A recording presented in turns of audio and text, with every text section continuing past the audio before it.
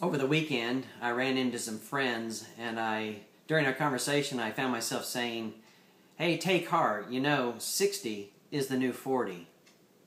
I guess you could say that I was trying to find comfort with some of my older friends. But actually, in today's blog, I'm making a case for the fact that death is life's discreet advocate.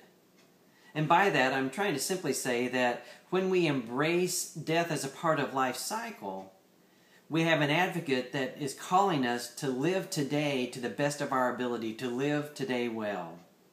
So I invite you to embrace the reality of death that is really just one part of the life cycle.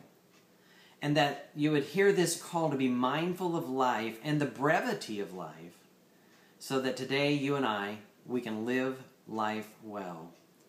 I leave you with this question If today were the last day of your life on earth, what would you be sure to do? Here's to your next level and to your leadership influence in the world of people today. Thank you.